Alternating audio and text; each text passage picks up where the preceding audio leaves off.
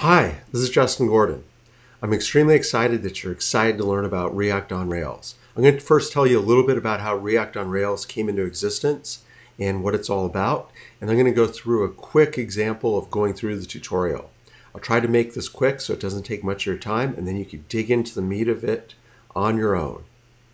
So here's the GitHub um, repository, React on Rails, and it's got everything you need here, a lot of documentation, etc. So how did this all get started? Well, a while back, I wanted to integrate React inside of a Rails project. So the first place I looked was React-Rails. By the way, I'm not going to tell you about why you should use React with Ruby on Rails or why you should use React, etc. I'm going to assume you've already made that choice. You want to use React and modern JavaScript with your Rails app. In any case, I went and tried to make React Rails work. Well, React Rails, that gem is based on using the asset pipeline. So, I don't know how many of you have been out there and tried to incorporate um, gems that have JavaScript code into your asset pipeline. It's a real hassle because sometimes the gems aren't updated. It just doesn't really make a whole lot of sense. So then I started digging around and a few people told me, hey, you should check out Webpack. Well, long story short, that led to the creation of this article. And I got definitely got a lot of um, a lot of attention on this article because this article talked about how you could do Rails with Webpack and the ES6 transpiler. Back in 2014, there really was no easy way to um, use the ES6 transpiler, and that was becoming a really big thing back at the time. Nowadays, it's pretty standard, except if you're using the asset pipeline, you might not be using ES6 yet.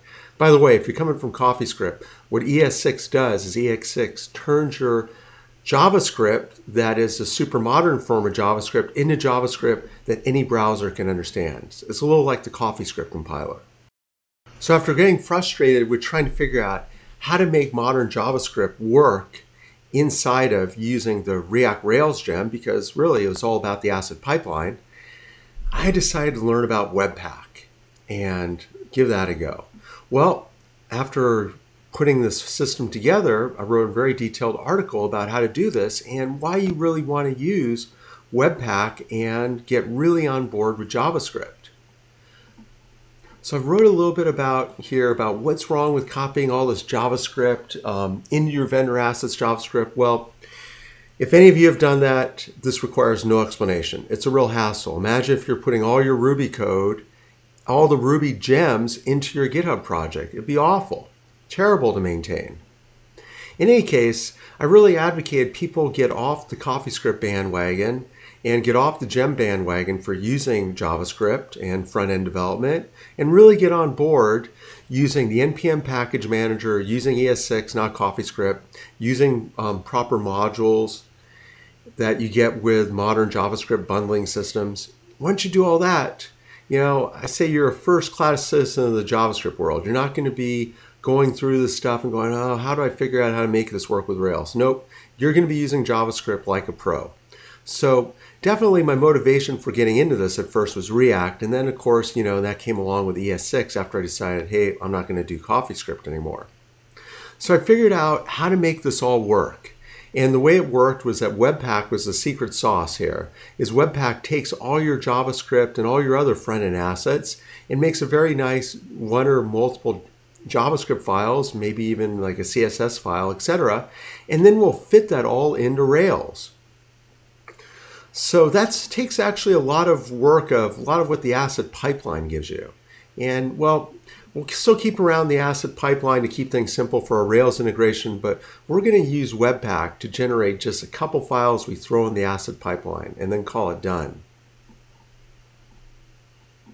So all of a sudden, once you got all that stuff to work, you, there's a whole world of NPM packages you can start integrating in your Rails projects. I just thought that that was so cool that no longer was I looking at Ruby gems for, well, where's this, um, where's this gem? So how does this work? Is that you got a gem file? Well, that puts in, um, you know, that creates your gems in your project.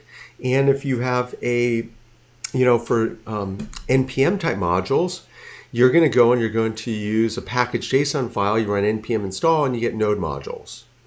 Um, blah, blah, blah. Here's some stuff on why NPM and not Bower. That was actually relevant in 2014. Nowadays, pretty much is on, everybody's on NPM.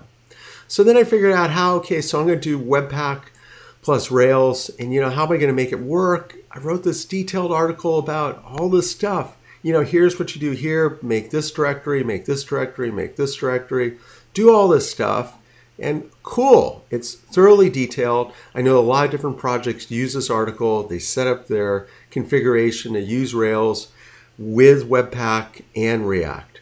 Cool, all that stuff works. So here's what happens when we set this up. And this is, remember, this is before React on Rails, was that you'd have a, um, skip the hot stuff for right now, this um, live reloading stuff, but you have this Webpack Rails config, you run webpack-w, you create a JavaScript file, and that goes in your asset pipeline. Okay, pretty simple. Basically take like 100 different JavaScript files, make one nice file, put in your asset pipeline, good to go. Well, of course, there's, you know, there's a few extra details in that. Here's a bunch of other details here to make this work. You know, you can skim through this article, but to be honest with you, you really don't need to read this whole article because now we've got the React on Rails gem. Now, why did we, um, so what happened? So what motivated me to actually go from just having this article to making the gem? Well, true story, what happened is this, is that a guy, Blaine Hatab, he was he made an article that compared the different ways of integrating React with Ruby on Rails, and he mentioned my article, but he said that it was kind of a hassle because you know he would do the Webpack way that I'm doing, except the React Rails gem supports server rendering. Hmm, server rendering. I never actually needed to do that or figured out what that was, but I've heard about that, so maybe I should look into that. Well, so I looked into it. I figured I took a look actually at what the React Rails gem was doing for server rendering and go, you know what, I'm up for this challenge. I'm going to create a gem. I'm going to enable it to do server rendering. Well, it turned into a lot more than just doing server rendering because I figured what I'm going to do is I'm going to make it really easy to integrate React with Webpack and Rails and make it so you don't need, um, you know, make it so it's just a recipe and it's just easy to do. So I decided I was up for the challenge. I'm going to figure out, I'm going to make a gem so we can do some of the stuff that React Rails does with server rendering and what React Rails does with the asset pipeline. I'm going to see if I can make a gem that does this using Webpack. Well, let's see how this goes. Well, it's gone pretty well in the sense of we are now almost at 2,000 stars, hopefully above 2,000 stars by the time you read this. So server rendering, that was the first goal. Let me figure out how to do server rendering. And then I realized that, you know what? I want to make everything super easy. So, and um, early this year, I created this article, the React on Rails Doctrine, where basically I kind of mentioned all this stuff that we're doing with React on Rails. So I wanted to make React on Rails work so that it's super easy to integrate React Webpack and Ruby on Rails and really fit into the whole Rails philosophy of optimizing for programmer happiness. DHH wrote an article um, called, David wrote this article called The Rails Doctrine. And I thought this was pretty cool about what are the, you know, what are the key parts for making, um, you know, what are the driving principles for, uh, for Ruby on Rails. And so I wrote this article, how we fit into this, you know, how we optimize for programmer happiness, um, convention over configuration. This is huge in the JavaScript world because there's just so many different ways to do things. It's much, um, much different than the Ruby on Rails world. We also pick out a whole bunch of our favorite libraries for you. We make it really easy. And there's a few more things in there. I encourage you to read this article. Hi, this is Justin. Thank you so much for watching the first video in my three-part series about React on Rails. You've just seen some of the motivations behind React on Rails. The next video is going to go over the React on Rails basic tutorial. That goes through a few simple steps. You're up and running with the React on Rails app in no time, and this could be on top of your existing application. The third video of the series, I'm going to go through the code that we generate with the generator.